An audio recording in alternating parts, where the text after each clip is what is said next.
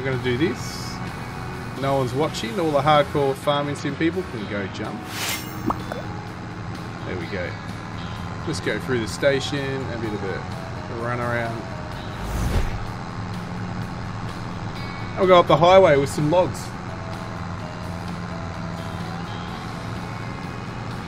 Uh, is you want if you want do you want the 49 inch one uh, jacket? I find it very good for productivity in general. Um, so for work and video editing, it's awesome. The only game or sim I use it for is Flight Simulator.